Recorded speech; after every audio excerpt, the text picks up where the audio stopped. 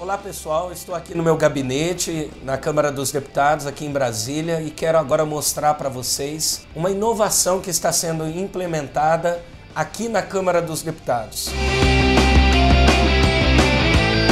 Dois gabinetes foram selecionados e o meu está incluído para participar desse projeto que está sendo desenvolvido.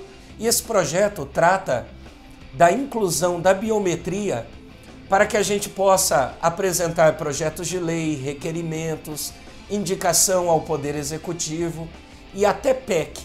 Tudo que antes nós tínhamos que imprimir, assinar, cadastrar, que eu mostrei há dias atrás para vocês. Agora todo esse trabalho poderá ser feito apenas com autenticação biométrica.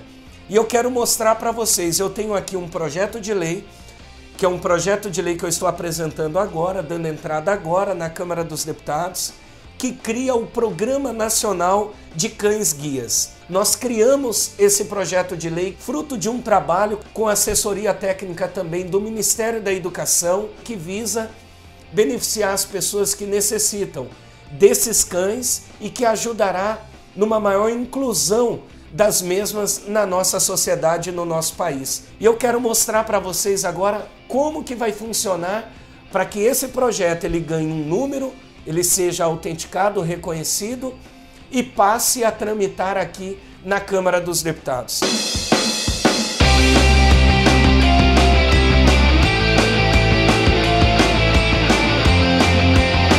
Pessoal, já foi enviado o projeto de lei. Agora você pode acompanhar esse projeto que vai tramitar aqui no Congresso Nacional, acompanhando por esse número.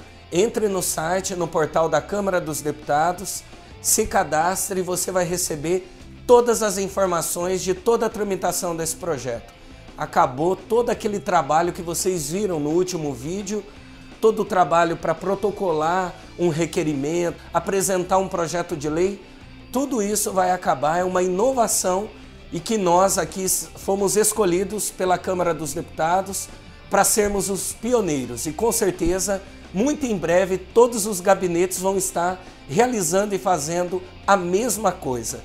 O meu gabinete é um gabinete sustentável e nós queremos aqui reduzir o gasto público e cada vez mais melhorar a nossa atuação legislativa para representar bem cada um de vocês.